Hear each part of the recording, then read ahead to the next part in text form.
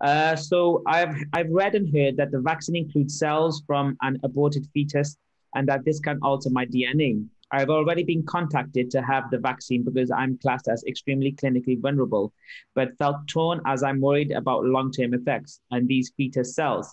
Can you explain how safe this vaccine is if you already have a have scarring on lungs and, and uh, from pneumonia and severe allergic asthma?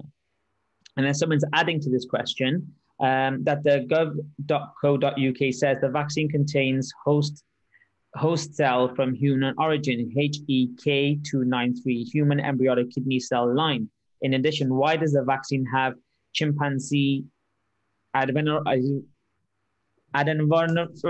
vector? Apologies. Um, Brother Masim. So can I can I can I please answer this? So yeah, this... no, do you want to do the first bit about the thing and then we'll yeah. can, can, I just finish reading so that I guess then you got oh, the add it all in, in one go then. So um so the uh, the chimpanzee vector which encodes the SARS-CoV-2 spike protein. And the final part is uh, Pfizer and Bono companies use the fetal cell line HEK293 uh, in the confirmation phase to ensure uh, the vaccines work. I don't know, make that if you want. Just tell me you All... want. Just a alu naan and fluda.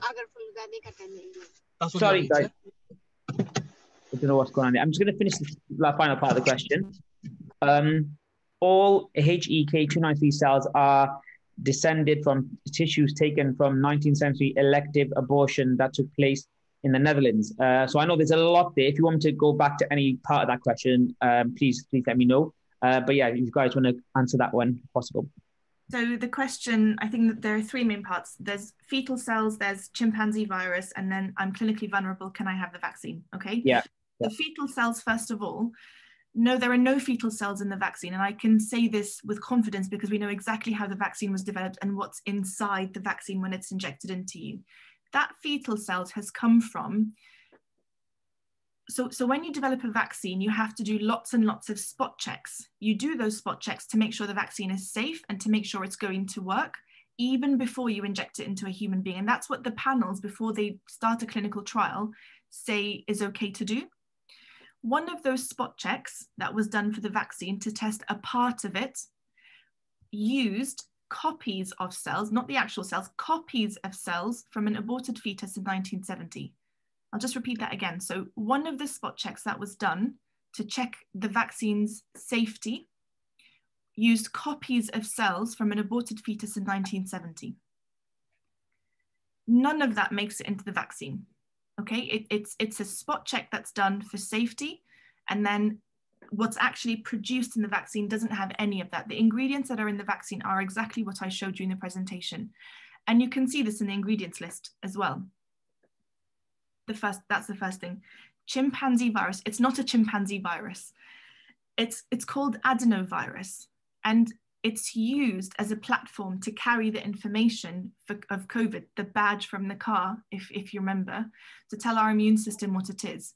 The reason it's called the chimpanzee virus is because chimpanzees or, or the ape population, us included, can have the virus, inactive virus, injected into us, and it will stay long enough for our immune system to actually read the COVID information but not long enough to cause any problems. So it's not from chimpanzees at all. It's grown in the lab. So that's where that comes from. We don't have chimpanzee viruses in, in, in the vaccine at all.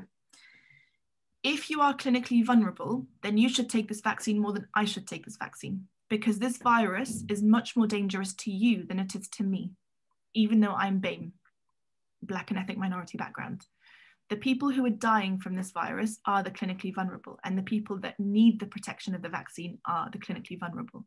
So, if I was your doctor, I would be, I know it, the decision is yours, but if I was your doctor, I would be advising you to take the vaccine. Yeah, I'd, I'd just tag on to that in terms of, you know, my patients that I'm seeing, I'm sure what Dr. Nasim is seeing um, on a day to day basis.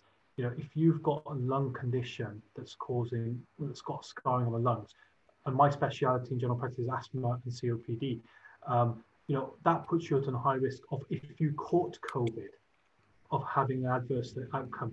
You're more likely to go into hospital.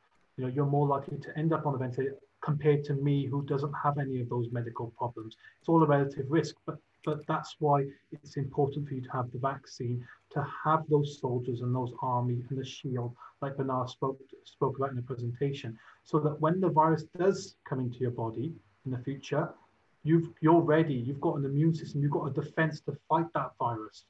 Um, and coming to the severe allergic reaction, because yes, in the beginning, they were telling people not to have it when you had an allergy, but the current guidance is very clear. You know, if you've had uh, any allergies, that does not mean that you cannot have the vaccine at all. It's only if you've had a severe allergic reaction to an ingredient in, in the vaccine that's made you go to hospital or you needed an EpiPen. That's the only reason what, when, when allergies come into play.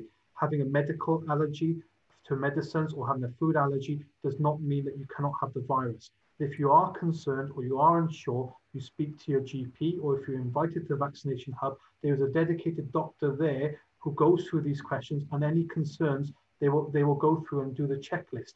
Also, there's a fantastic webpage called anaphylaxis.org.uk, which will answer quite a few of these common questions where people have asked them frequently, I have this kind of allergy, am I allowed to have the COVID vaccine?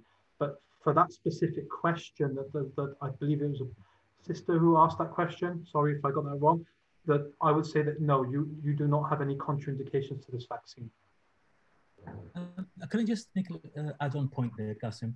Yep. Um, just from uh, anecdotally, what's what's happened in one of my clinics. Um, uh, a 75 uh, year old lady turned up in my clinic and said that she had the polio vaccination when she was a child and developed, uh, I think, a, a, a, tummy pain uh, and a, a, bit of a fever afterwards. And her and she was told she had an allergy to to the to the polio vaccine, and so never had any vaccinations again. And she she declared this to me when I was about to inject her with the COVID vaccine. So a lot of people they get confused. What is an allergy?